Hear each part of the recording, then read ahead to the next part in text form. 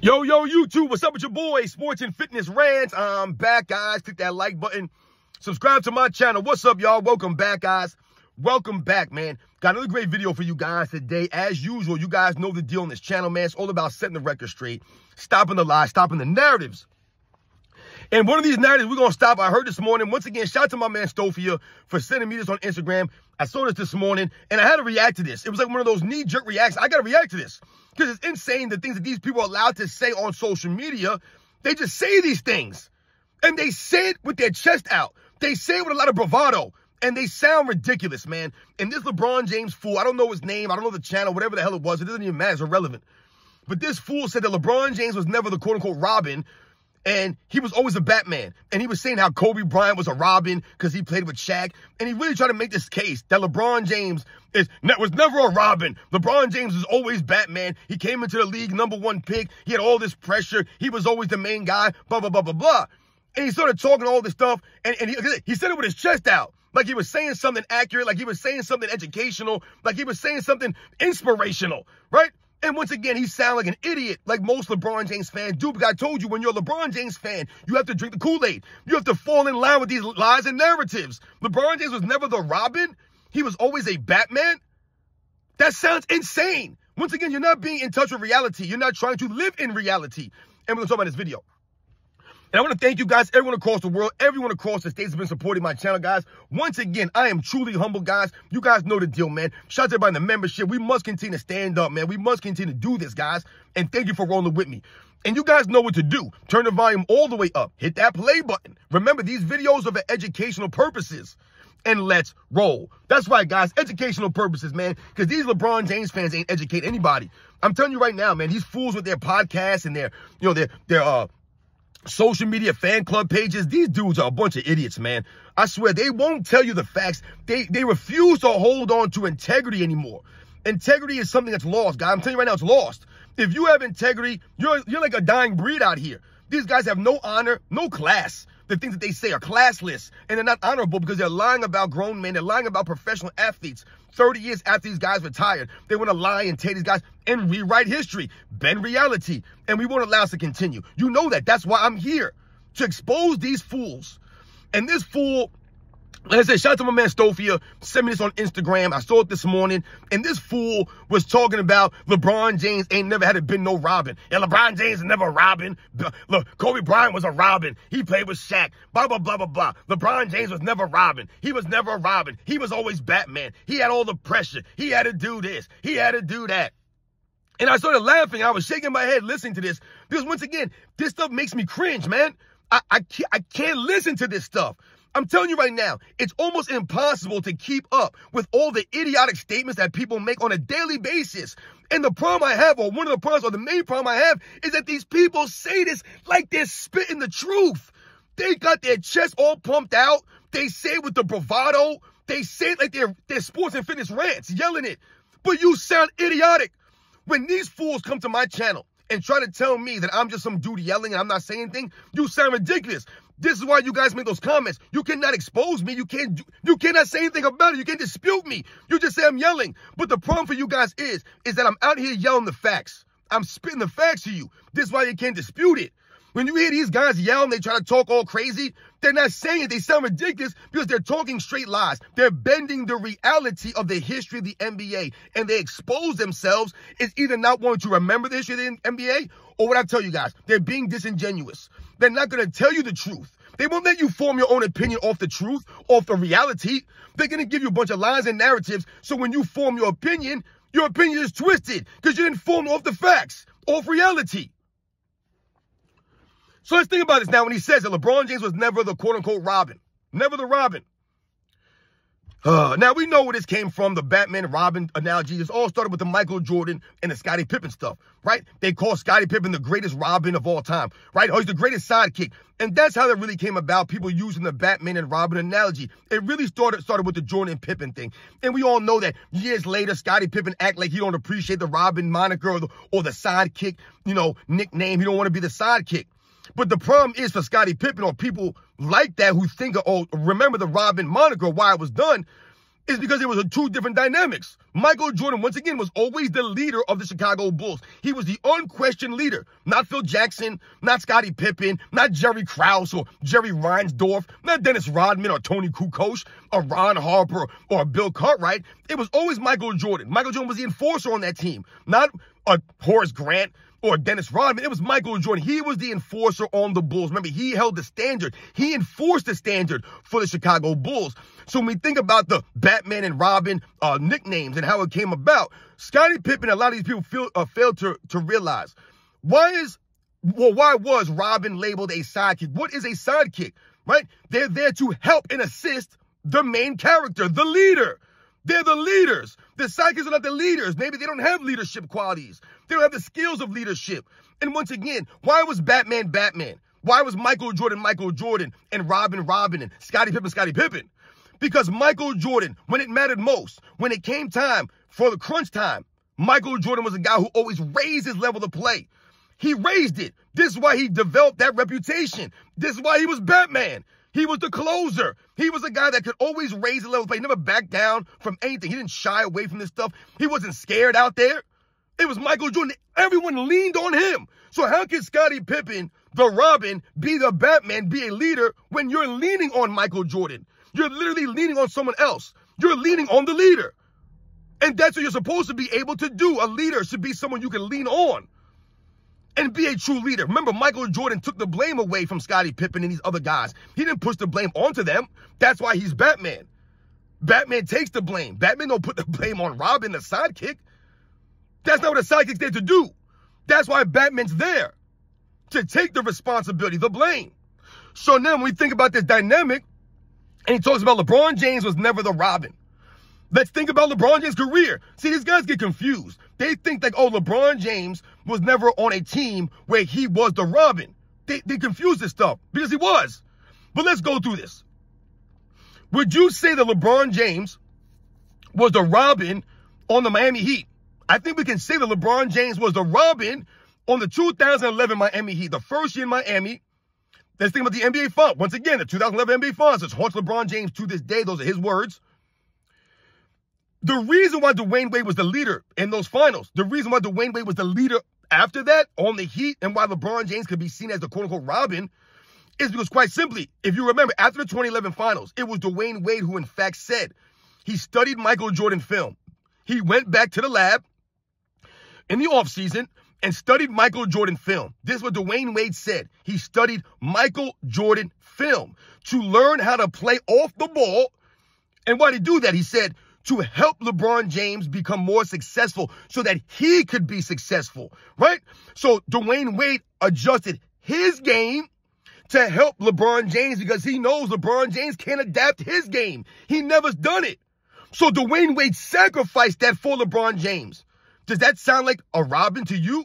That sounds like a Batman thing to me. Dwyane Wade, as a leader, as a Batman, sacrificed himself, his own game, his numbers, his play style to help his sidekick, right? LeBron Robin James. Okay?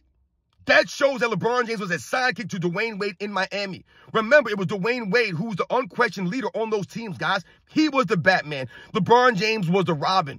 See, these guys, they look at the numbers. Oh, LeBron James averaged this many points. He scored more points than Dwyane Wade. So he was, and I knew the numbers.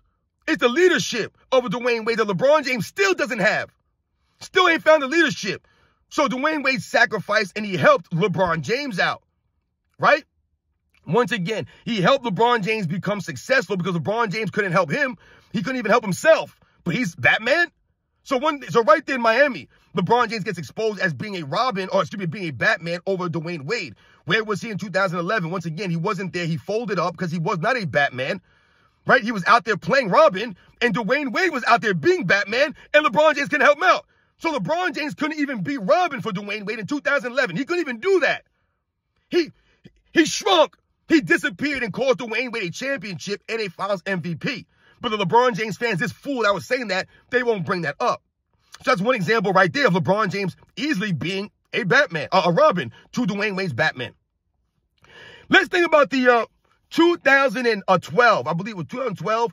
I think it was the 2012 All-Star game with uh, Kobe Bryant going at LeBron James. And this guy was talking about how Kobe Bryant was always a Robin and blah, blah, blah, blah, blah, because he played with Shaq. Once again, we're talking about the mentality here of Kobe Bryant. Robin did not have the mentality of a Batman, right? He did not have the mentality of a Batman. Kobe Bryant always had the mentality of a Batman, of a Superman, as of a leader. Shaquille O'Neal did not have that. He was never a leader, Shaquille O'Neal, right? He never was. This is why Shaq didn't take uh bring coming into camp in shape serious. He didn't take it serious. And that's why he underachieved ultimately. So Kobe Bryant always had the Batman mentality, even though Shaq might have been winning the finals MVPs in that three-peat. Let's not shortchange Kobe Bryant and what he was doing on both sides of the ball on the court. He was doing some things. Acting like Kobe Bryant was sitting on the bench, averaging 10 minutes a game. The dude was out there balling, right? So once again, it's the same thing. The mentality is different. But let's think about that 2012 All-Star game when Kobe Bryant was calling out LeBron James, calling him out, calling him out. Remember, after the 2011 debacle, that next season, the All-Star game, everyone was putting the pressure on LeBron James, right? Carmelo Anthony, Dwyane Wade, Kobe Bryant, they were calling LeBron James out because he was out there playing timid, playing scared, not being a Batman, being a straight Robin. If you think about the 2008 USA Olympic team, guys, is that LeBron James being a Batman? No. We all remember what happened in 04, right? Young LeBron James, that this guy was talking and came into the league. Yo, Le- uh, LeBron James came to the league, he was ready to go. Kobe Bryant came to the league, he had to play behind Eddie Jones. This dude said Eddie that LeBron James wouldn't be wouldn't have been behind Eddie Jones in the eighth grade or the tenth grade. He said some nonsense. Once again, a hyperbolic statement, trying to talk with his chest out, but ain't saying nothing. Not understanding the history of the game and how the game was played. You had to earn it in the 90s. You had to earn your spot. LeBron James came into the NBA playing, yeah, but he didn't lead a team to any playoffs. He didn't even make an All-Star team his first year. So this whole idea that LeBron James came in the NBA running like, like Michael Jordan, it's false. It's a lie. He did not. But if we go and think about that 2004 uh, USA team, right, to get the bronze medal, was LeBron James a Batman on that team? No, he wasn't a Batman. He was a straight Robin on that team, wasn't he? He was no Batman on that team. And what do they say? Oh, LeBron James was only in his first season. He was still young. He was 20 years old. But you said he came into the league as Batman. He was never Robin. He obviously was a Robin then. He wasn't a he wasn't a Batman on the 2004 Olympic team. Was he the best on the team? No, I was probably Allen Iverson or Tim Duncan. Not LeBron James though. So he was playing a Robin role on that team because he didn't play Batman. He didn't lead them to a, a silver or gold medal. So we think about the 2008 uh, USA team when Kobe Bryant came essentially to save these guys, to save them, the embarrassment that was going on. He was the Batman out there. He was the alpha. Everyone says it. Chris Bosh, Dwyane Wade, LeBron James said it. Everyone knew Kobe Bryant was the Batman, the alpha on that team, so to speak, the Superman. And LeBron James was playing a role. He was playing a role of Robin. He was a sidekick on that Olympic team. His fans don't want to talk about that. 2008, that was LeBron James being a Robin, being a sidekick to Kobe Bryant's greatness, to Batman. It was Kobe Bryant come and save these fools. He was the one that practiced first thing in the morning before everybody else got there, covered in sweat.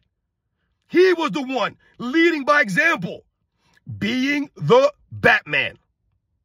So that's another example of LeBron James being a Robin, a sidekick. In the 2016 NBA Finals, guys, Kyrie Irving averaged 27 points a game, outplayed the unanimous MVP, and made one of the greatest shots in NBA Finals history. All meanwhile, LeBron James was standing around in the corner when Kyrie Irving made that shot. If you guys remember that game, game seven, LeBron James did not score in the last like two or three minutes. No one could score. Steph Curry didn't score. LeBron James didn't score. No one scored. The, the game was just stuck on a score for all these minutes at the end of the game. It was Kyrie Irving who they gave the ball to. You guys remember what happened before that play? Do you guys remember? Watch the video. What you'll see is Ty Lue drove a play for LeBron James. And LeBron James deferring to Kyrie Irving, saying, no, give the ball to Kyrie Irving. And why did LeBron James say that? Because he was Batman? No, because he was playing the role of Robin. Kyrie Irving was the Batman. Remember, the part of the reason why Michael Jordan was, you know, the leader was a Batman, a Superman, right? He wasn't a sidekick or the help. Is because Michael Jordan always raised the level of play. He came through when it mattered most. He didn't shy away from the moment, right? That goes to him being great, his leadership. That was never a Scottie Pippen. This why Scottie Pippen was the help. He was the sidekick. You see what I'm saying, guys? This what separates the great players from the legendary players, the top 10, 20 guys. These guys raise their level of play, right? They galvanize their teammates through leadership, building their confidence up. That's what a Batman does. He builds up the confidence of Robin. He gives Robin that confidence. Robin's greater because of Batman and the way he made him feel. Scottie Pippen was greater because of Michael Jordan. And I told you guys, Michael Jordan was greater with Scottie Pippen, not because of Scottie Pippen. Okay? So when think about Kyrie Irving taking that shot and they drove the play and LeBron James says, hey, give the ball to Kyrie Irving, right there expose LeBron James as a Batman. A Batman's going to take it. A Batman's going to want it. And they'll say what? Oh, LeBron James was making the right play. He knows. Exactly. He knows that he ain't that dude. You're not Batman, especially at the end of games. So LeBron James might be Batman for the first three and a half quarters, but then the last four or five minutes, the last two, three minutes, he's not Batman. He's Robin. Kyrie Irving took the Batman role. They reverse roles. This is why LeBron James has never been a true Batman, a true Superman like a Michael Jordan. That was never Kobe Bryant shying away from the moment. And what do they say for Kobe Bryant? Oh, Kobe Bryant took bad shots. He forced up shots. LeBron James makes the right play. Makes the right play. Once again, this is LeBron James shying away from the moment. All game long, LeBron James, the man, taking all these shots, driving the lane, looking outstanding. And then all of a sudden, the last three minutes, you change? That's LeBron James making the right play. That's LeBron James shrinking in the moment, being scared of the moment, and understanding he ain't that dude. Kyrie Irving was. So LeBron James stood in the corner. This wasn't like LeBron James was dribbling the ball and setting up Kyrie Irving. LeBron James didn't drive the lane and kick out to Kyrie Irving for a wide open three. LeBron James literally stood in the corner blowing on his hands while Kyrie Irving sized up Steph Curry and took the shot right in his face. LeBron James had no, no bearing on that play. But that's Batman? That's Batman standing in the corner while Robin does all the work? no way. No how. So once again, exposed. And let's think about right now. Is LeBron James the Batman for the Lakers? Has LeBron James ever been Batman on the Lakers? No, he has not. He's been Robin on the Lakers, and this is what I've been telling you guys. Anthony Davis has been the best player on the Lakers since he's been there. Anthony Davis saved LeBron James and the Lakers by requesting a trade and coming to that team. Save LeBron James. So Robin saved Batman?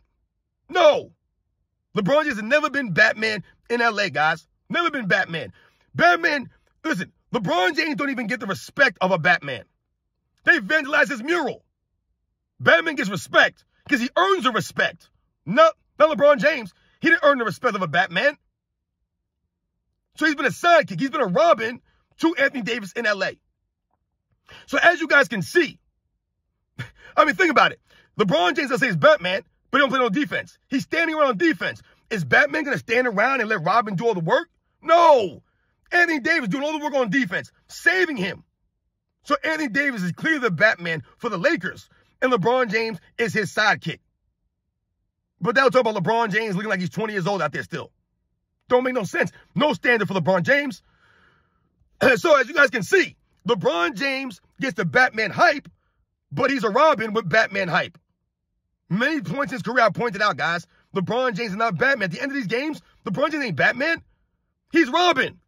Where was LeBron James in the 2009 Eastern Conference Finals against Dwight Howard? Was he Batman in those in those in those in those in that series? No, he wasn't. He got outplayed by Dwight Howard. He got outplayed by Hedo Turkoglu. Hedo Turkoglu. And that's no knock on Hedo Turkoglu. He's a solid player. But come on, man.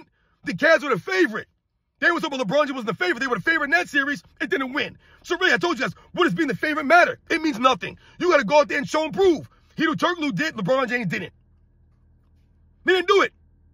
He got beat down. He didn't guard Dwight Howard. Remember, he can guard one through five. He didn't guard Dwight Howard. LeBron James had many opportunities to guard other players at other positions to prove that guard one through five. He never did. He could have guarded Dirk Nowitzki in 2011. He didn't do it. He could have guarded Kevin Durant in 2017. He didn't do it. He didn't do it. Dude couldn't even guard Draymond Green. If the if the if the Warriors win the, the game in Game Seven, if they win that game in 2016 uh, in Game Seven, Draymond Green was going to be the Finals MVP, guys. The man put up what, almost a 30 point triple double in Game Seven. All LeBron James. he don't play defense. Remember, guys, LeBron James has got Batman hype, but he's been Robin with the Batman hype. Many times in his career, this man was Robin, not Batman. But they want to talk about he was never Bat, he was never Robin, he was always a Batman. What world are you guys living in? You won't live in reality. And this is why you guys sound crazy. Yo, so shout out to all my supporters out there, man. Thank you guys again. You guys, you guys know the deal, man. You guys know. I've seen you guys in these polls voting, man. You guys know, man. So the education's working. LeBron James always the Batman. No, he wasn't. He was not always the Batman. He's been the Robin many, many times in his career, guys. Many times. And he continues to have Robin qualities, Robin tendencies, right? Robin attributes, Robin intangibles. He's not a leader, no sportsmanship. He's a sore loser. He's not a true competitor, a sportsman. That would be Batman. That's not LeBron James. Batman ain't walking off the court early. That's LeBron James, though. Batman ain't always crying for help. That's LeBron James. Batman don't make no excuses, man. That's LeBron James, man. That's a sidekick mentality. That's a victim mentality. That ain't Batman. Batman ain't no damn victim. So you guys know the deal, man. These are the facts here. These are the facts. LeBron James has been the Robin more often than he's been the Batman. That's why he's 4 and 6 in the finals, guys. The 4 and 6 record speaks for itself, but they excuse it. Oh, he's playing against super team. He's playing against. It's always an excuse. The excuse there is no. It's LeBron James. It's on him. You guys know the deal, man. I catch you guys on the next one.